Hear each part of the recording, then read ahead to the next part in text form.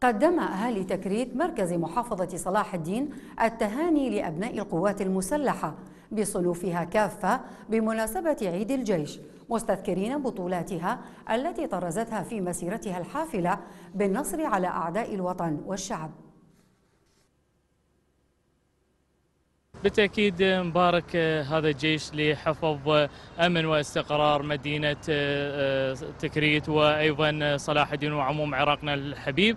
واليوم جيشنا هو سور لهذا الوطن من كل الاعتداءات الخارجية ونتمنى أنه يا رب الاستقرار يدوم على كل أهلنا وناسنا في عموم العراق. ومثل ما تشاهدون اليوم مدينة تكريت تتمتع باستقرار أمني بفضل القوات الأمنية كافة وهذا اللي نتمناه الأمن والأمان على كل عراقنا الحبيب. بمناسبة تأسيس ذكرى تأسيس الجيش العراقي. 6 كانون نهنئ الشعب العراقي ونهنئ الجيش العراقي البطل. ونسأل الله أن يحفظ هذا الشعب العراقي ويدفع عننا هذا البلاء.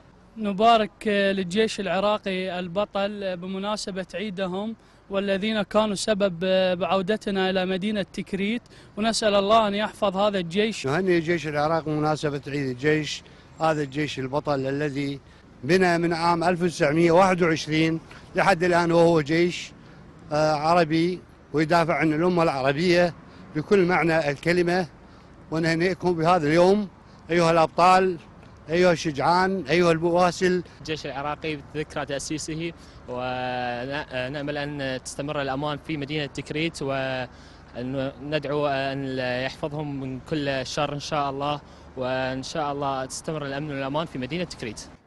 اولا نبارك هذا بهذا اليوم بمناسبه عيد الجيش وإن شاء الله الأمن والأمان على العراق والعراقيين ويا ربي إن شاء الله العراق أحسن إلى أحسن إن شاء الله ويعم الأمن والأمان إن شاء الله.